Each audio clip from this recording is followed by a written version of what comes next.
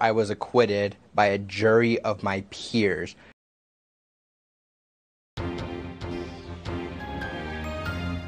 Kyle Rittenhouse says he will sue Whoopi Goldberg and other celebrities, politicians, and athletes for calling him a murderer after he was acquitted in Kenosha protest. Politicians, celebrities, athletes, Whoopi Goldberg's on the list. She called me a after I was acquitted by a jury of my peers.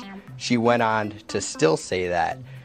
And there's others. Don't forget about Cenk from the Young Turks. He called me a mur- before verdict and continues to call me a We are going to hold everybody who's lied about me accountable, such as um, everybody who's lied, called me a list.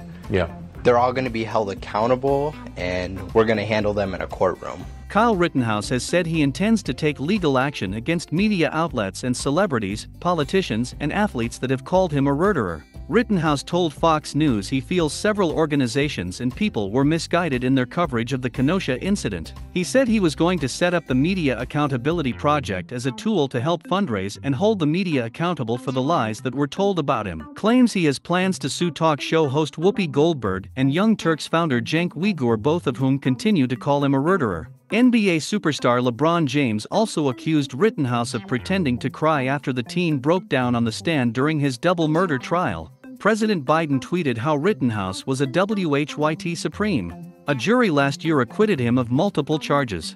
In my opinion, there needs to be more coverage about how the news, politicians, and celebrities will jump to conclusions to fit their narrative without having all the evidence or even waiting until someone is tried in the court of law.